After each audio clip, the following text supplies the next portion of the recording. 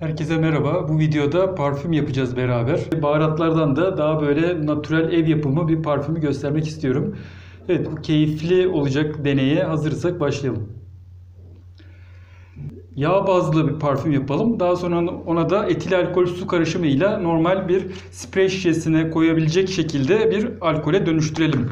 Parfümde notalar var ve aynı zamanda da faset dediğimiz karakterler var. İşte karakterlerde çiçeksi kokular oluyor. İşte burada gördüğünüz gibi yasemin veya limon çiçeği, portakal çiçeği, tarçın gibi daha böyle otsu, odunsu kokular var ki erkek kokularına daha çok kullanılıyor. Eski yıllardan beri aslında ta e, orta çağda ilk çağdan beri aslında parfümcülük çok gelişmiş bir vaziyette. Özellikle de Avrupa'da, Fransa'da.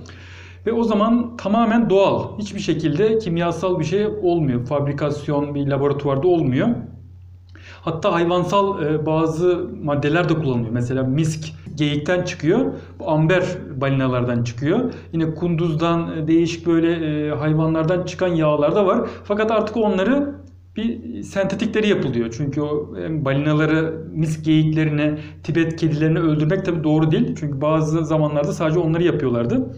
Aynı zamanda bu aromatik yağlar bitkilerden de distilasyon, buhar distilasyonu ile çıkıyor. Altta yorumlar kısmında, açıklamalar kısmında nereye tekabül ettiği hem de oluşturulma yöntemlerini oradaki bilimsel kaynaklardan açıklayacağım. Parfümün alt tabakası da nota dedikleri katmanları. Üst notalar dedi, dediğimiz daha böyle fresh, yaklaşık bir 15-20 dakika ilk kokusu gelen. Bunlar turunçgiller başta oluyor ve bazı böyle hoş kokulu çiçekler, fresh kokulu çiçekler. Daha sonra ki burası %30'una denk geliyor bir parfümün. Orta tabakasında %50 çok daha büyük bir kısmını oluşturan kalbi de dediğimiz kalp nota. Burada daha çok otsu yine çiçeksi kokular var. Ve piramidin en tabanı burası da %20'lik az bir tabaka oluyor. Çünkü burada kokular çok keskin. Molekül ağırlıkları yüksek olduğu için bunlar mesela belki 1-2 gün geçse bile tenimizde kokusu kalabiliyor. Bunlar da bu sandal ağacı veya çam terebenti gibi daha böyle sert kokular. Bunlar genelde erkeksi kokular oluyor. Bunlar unisex oluyor.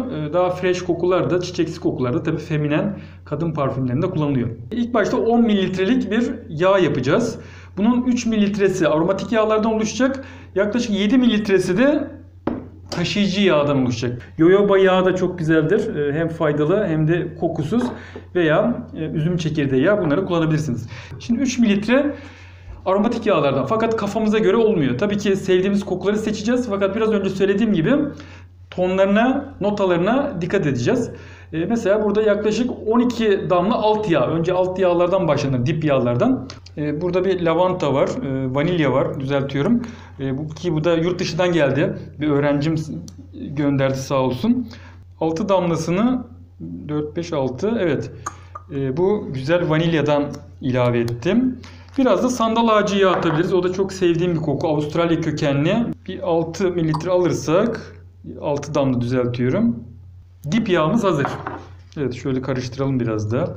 Bunların hepsi birbirine güzel karışması gerekiyor. Orta notaya, kalp notasına bundan 30 damla alacağız. Fazla alacağız. Burada ben kendime göre ayırdım. İşte Yasemin olabilir, Menekşe olabilir. Bunların bazıları biraz üst notaya da kayabiliyor. Anason, anason başka şeyler için de kullanılıyor biliyorsunuz.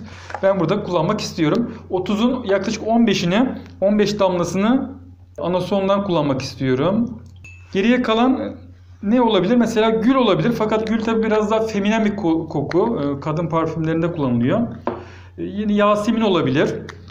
Burada Yasemin çiçeği de var. Onu da biraz sonra göstereceğim. Yaklaşık bir 15 damla da evet bu da güzel keskin. Evet 15 damla da bundan aldık. Yeterli. En son şimdi üst tabaka fresh kokular. Ben kişniş kokusunu seviyorum. Bundan da 18 damla alacağız. Yaklaşık 10 damlasını kişniş alacağım. Geriye kalan 8 damlasını da onu da limon çiçeği. Bu aslında limon çiçeğidir.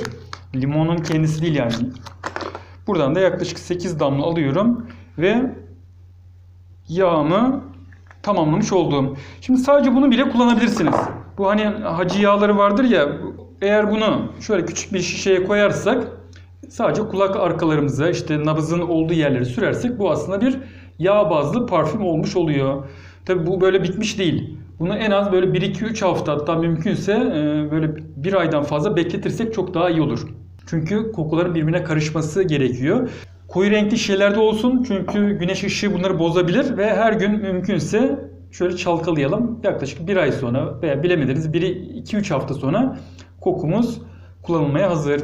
Gerçek parfüme dönüştürmek istiyorsak bu sefer de etil alkol su karışımı katmamız gerekiyor. Veya bu elimizde yoksa vodka. Vodka'da da yaklaşık %40 mı %40 alkol vardır. Distile su yani saf su. Bu bu arada alkolün bu sertliğini kurutucu özelliğinde azaltmış oluyor. Bunu 40 mililitreye yani 30 mililitre katarak 40 mililitreye de tamamlayıcı alkol çözeltisi olmuş oluyor. Evet bunu şimdi buraya ilave ediyoruz. Şöyle karıştıra karıştıra. İlk başta şöyle e, tam %100 karışmayacaktır. Bu zamanla yani zaman geçtikçe dediği bu neredeyse alkolün içine iyice karışması bu, bu da yine bir ayı geçebilir. Ondan sonra kullanabiliriz. Şöyle bir sprey şişesine koyuyoruz. Nerede? Evet şöyle bir sprey, sprey şişesine koyup kullanabiliriz. Şimdi de elimizde bunlar yok diyelim. Aromatik yağlarımız yok veya sınırlı. Bunlarla yapmak istiyoruz. Ben biraz önce yapmıştım. Hemen size anlatayım. Yine bu sıradan gideceğiz. Mesela burada tabii sandal ağacı bulmanız zor. Ben mesela burada zencefil kullandım. İçine bir parça zencefil attım. Dip notamız olmuş oluyor. Yine karabiber attım biraz. Karabiber tanecikleri attım. Hem orta notaya denk gelir hem de dip notaya denk gelir. Bundan katabiliriz. Biraz böyle maskülen bir koku verir. Orta notalardan ise e, mesela işte e, Yasemin yerine Yasemin çiçeklerinden attım. Bunun haricinde tarçın. Evet tarçın da çok severim. Şöyle tarçın kabuklarını atıyoruz. Bu da orta notaya denk gelir. Biraz da e, fresh kokuyu üst notalardan vermek için de burada mesela nane atılabilir. Biraz nane atmıştım kuru nane. Bir de ne vardı? Limon kabuğu. Evet. Limon çiçeği değil de ben limon kabuğunu tabi buldum. Bu da yine güzel bir fresh koku verir. Aynı şekilde bunu da bir 2-3 hafta bekletiyoruz. Tabi kapalı ve e, koyu renkli bir şişede tamamlayabiliriz ve bu şekilde de parfümümüzü oluşturabiliriz.